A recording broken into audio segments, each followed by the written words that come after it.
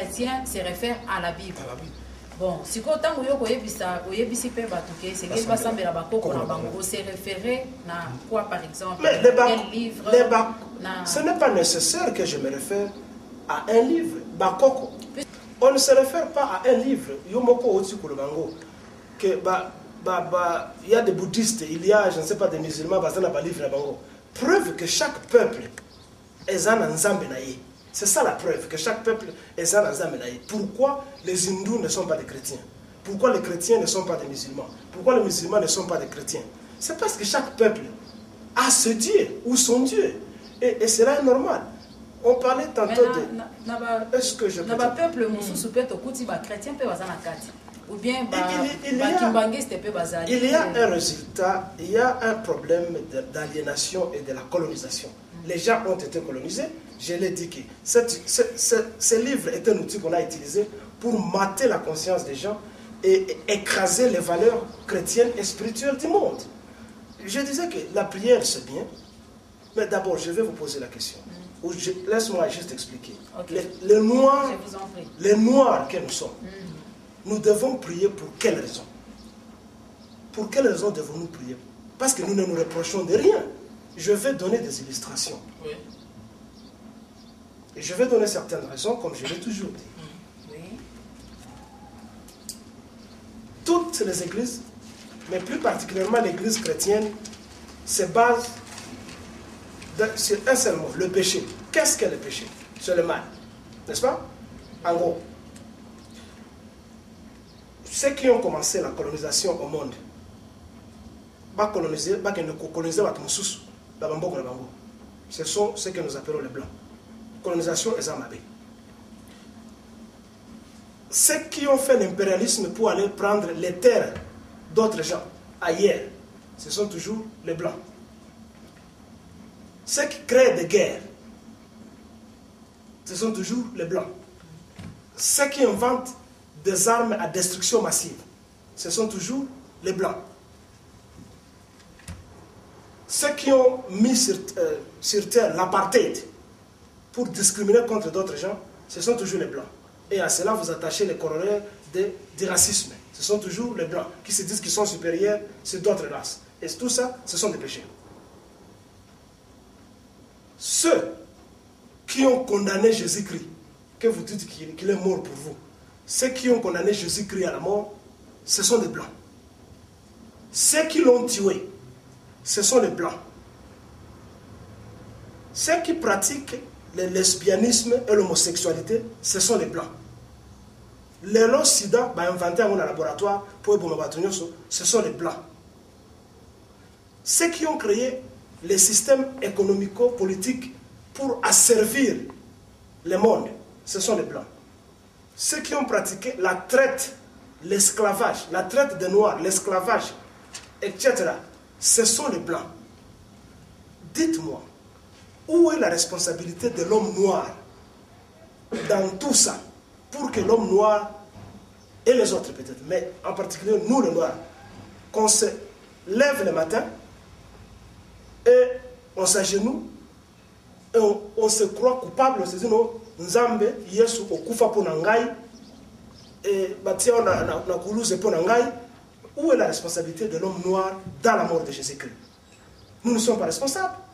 Il a été tué par ses frères, il a été condamné par ses frères, ça n'a rien à voir avec le peuple, le peuple congolais et les noirs en général.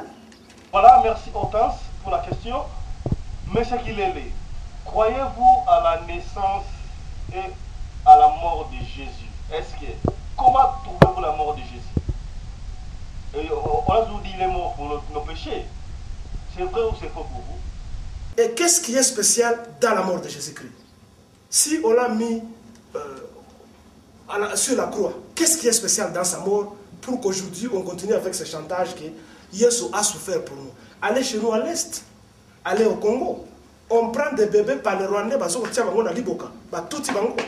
On prend les femmes qui sont enceintes, ba koti simbeli à partir ya se, ba toboli, ba pasoli, ba mususu bazo kunda bango vivant.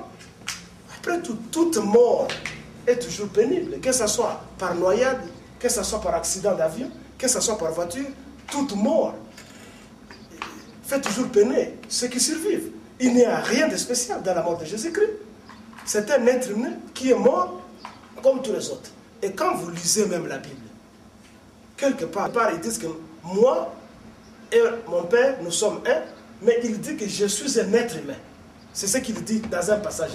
Jésus-Christ, moi, je le prends pour un nationaliste, un combattant. De quelle partie? Mais d'Israël, à l'époque, Israël, cette philosophie est sortie de la colonisation. Mm. Oui, c'est pas moi qui vous donne, je ne suis pas le modérateur. Cette philosophie est sortie de la colonisation. Mm. Israël était une colonie romaine à l'époque. Et à l'époque, on attendait un sauveur, un messie. C'est comme nous sommes aujourd'hui avec le Congo. Le Congo est sous occupation. On attend un sauveur, quelque part, malheureusement. Il y a eu des faux libérateurs de l'Afdel qui sont venus. Mais on attend un sauveur. Et quand vous, vous, lisez la langue hébreu, Messiah, Massia, ça signifie les rois à venir, les sauveurs à venir. Ça ne signifie pas les rois spirituels ça signifie un administrateur, un gouverneur qui viendra remplacer le gouverneur romain qui était là-bas. C'est ce qu'était Jésus-Christ. C'est quelqu'un qui, qui, se battait contre l'occupation romaine.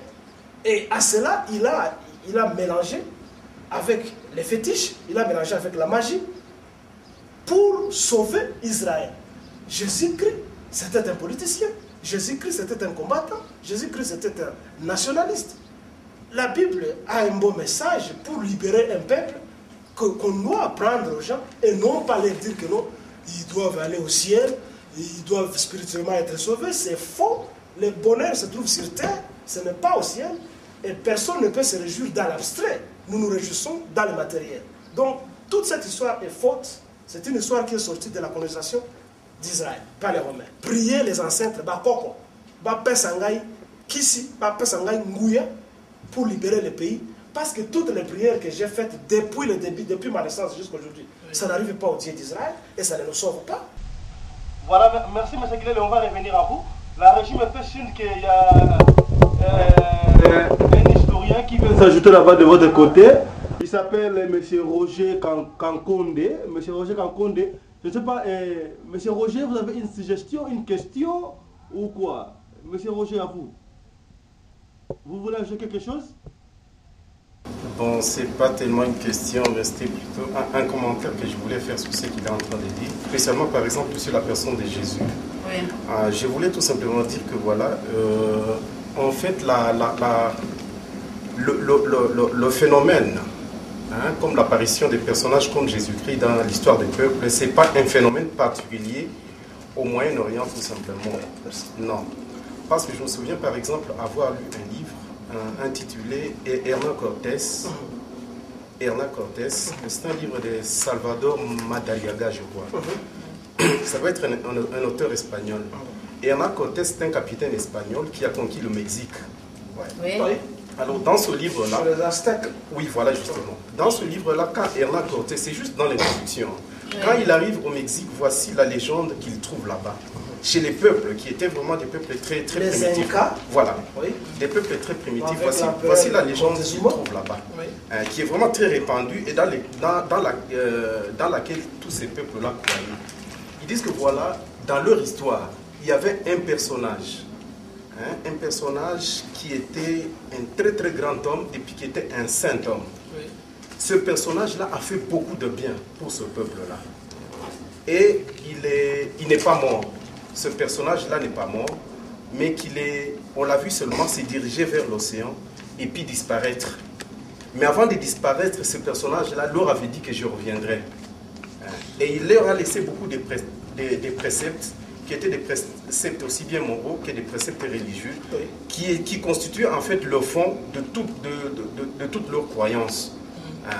Donc je voudrais dire que voilà, si on prend cette histoire-là et on la compare Hein, à l'histoire des, Juifs, notamment avec la, la, personne de Jésus, on peut trouver que c'est pratiquement la même chose. Partout, il y a eu ah. des apparitions. Donc c'est pour vous dire que... Il y a eu des, sauveurs partout. Oui.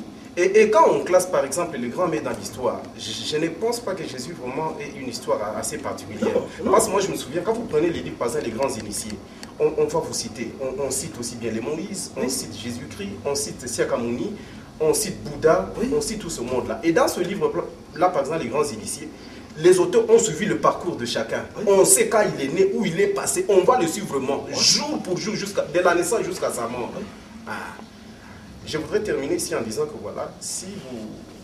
Bon, en, revenant toujours à, Jésus-Christ, euh, moi je pense qu'il y a, il y, a, en tout cas une sorte d'exagération de, sur sa personne. Jésus, c'est un, citoyen asiatique. Il n'est pas européen. Mais curieusement, Jésus nous parvient au monde entier à travers l'Europe. Hein, à travers l'Europe.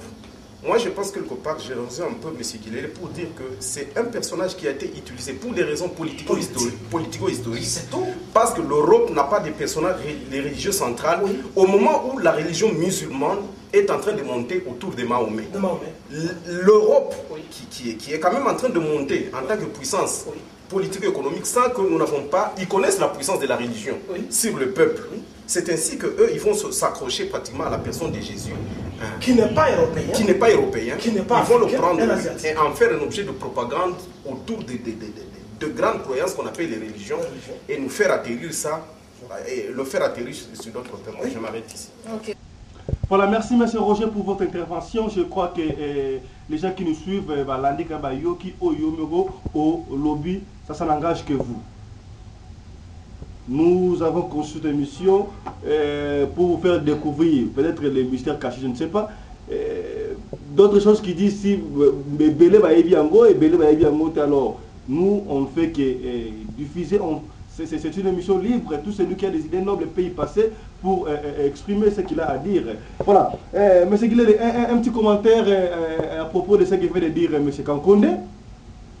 Mes déclarations ne seront totalement pas juger de folie ou, de motifs ou je ne sais quoi, ou d'athée, il n'y a pas de problème. D'ailleurs, être athée, ça signifie être contre Dieu.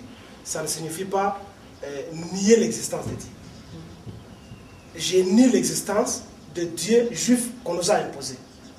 Je reconnais l'existence d'un Dieu universel. Mais je suis contre l'existence de Dieu, qui, qui ne me sert à rien. Donc, ce que Roger a dit, merci beaucoup. La question des compatriotes Barthélemy, je pense que c'est une question. Il parle de, la, je pas, du miracle de Jésus-Christ qui, est mort et qui est ressuscité comparativement à d'autres dieux. C'est peut-être parce que vous, vous ignorez euh, l'histoire. Comme ce que Roger venait de le dire, j'ai un livre que je vais vous passer, malheureusement c'est en France, en anglais, qui parle de tous ces dieux là-bas. Tous ont suivi le même parcours. Tous les dieux